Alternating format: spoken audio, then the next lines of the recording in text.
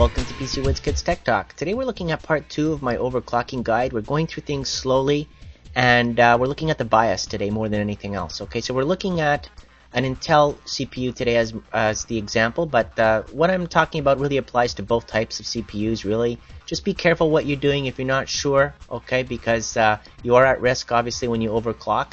Make sure that you do have sufficient cooling, that your motherboard supports overclocking things like that that I mentioned in my first part of the video. Because remember, you're really pushing the limits of your CPU beyond what the default um, uh, values were were set to. Okay, now to change those default values, you need to go into your BIOS. Okay, so the BIOS, you press delete when you boot up your machine. Sometimes you press F1 when you boot up your machine, and then you have to look for an option that allows you to overclock. In my case, it's called cell menu, but in yours, it might be called something else right? So different screens to get into the same similar types of options, basically to allow you to overclock your memory and your CPU.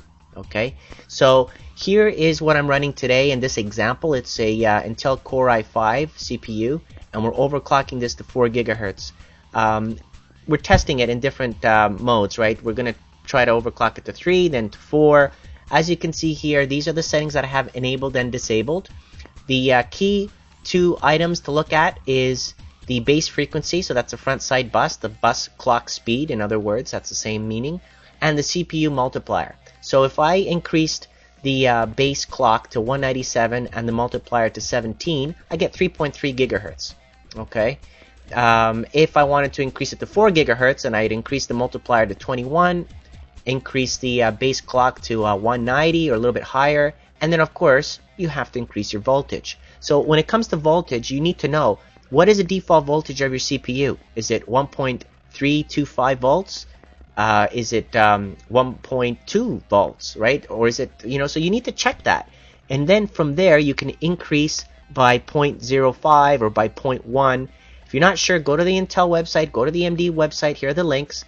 On those websites, it tells you for each CPU what the default voltage is and then that way you can increase it little by little like I mentioned in my part 1 video on overclocking. Now when it comes to overclocking memory it's the same deal. What is the default voltage of your DDR that you bought? It says right on it. And what is the rated speed, right? Is it uh, set to um, 1333 megahertz, uh, the top rated? Is it 1600? Is it, um, you know, what? So you got to check that. Is it compatible, meant for Intel CPUs more, that kit that you're planning to buy, or is it meant for AMD or both? Some of them are black edition, some of them are triple channel for uh, Core i7, so you can't just buy any RAM, okay? So make sure you know what you're buying. Um, the other thing is, when you go into the BIOS, into those overclocking settings, you're going to see the um, settings to take off the um, auto and put it to manual, right? By doing that and going into your memory settings and manually setting the timings, you can tighten them and increase the speed, right? So by default, you might have bought RAM a kit that says it's 99924. Those are the timings, okay, that it comes with. So you would go into the BIOS and then change those timings manually to 77720, um, for example, right? And how would you know what to change it to? Well, you need to do a little bit of research on that memory that you're buying to see what are the timings that other people have applied and you can apply them similarly, right? What are the limits of that memory, right? So you need to understand that and do some research on the RAM that you're buying so that way you know what it is that you can overclock this to. Now, when I'm talking about overclocking, I mean uh, if by default you bought a 1066 megahertz kit, well, maybe you can uh, put it to 10 to sorry to 1333 megahertz. So that would be um, ratio number four in my case.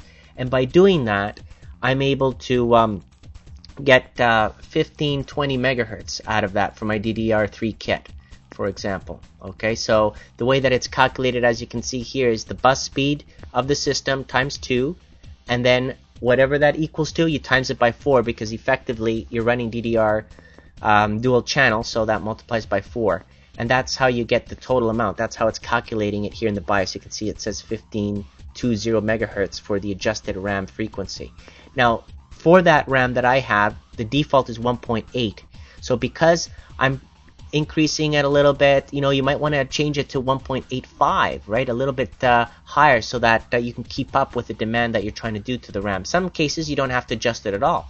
but if your system freezes when you're testing it, or if it doesn't boot into Windows, or you get a blue screen after you've overclocked to change your settings, then it's probably because of these uh, memory settings that you need to tweak and go back and forth.